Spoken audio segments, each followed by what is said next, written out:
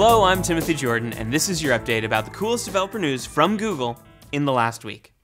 Now, studies have shown that an increase in performance leads to happier, more engaged users, which is why you should check out this post on the new APIs in Chrome to help you improve scroll performance.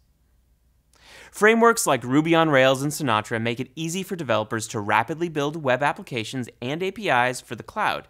And App Engine provides an easy to use platform for developers to build, deploy, and manage and automatically scale services on Google's infrastructure. Which is why we're excited that Ruby Runtime on Google App Engine is going beta. For more details and links to the Getting Started guides, samples, and interactive tutorials, check out the post. And that's it. It's light today because everybody is mm, focused on Google I/O next week.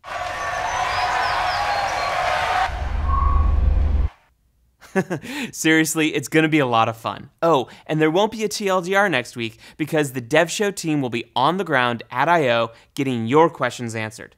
Make sure to use the hashtag AskDevShow and don't forget to like, subscribe, and share. I'm Timothy Jordan, and I'll see you next time.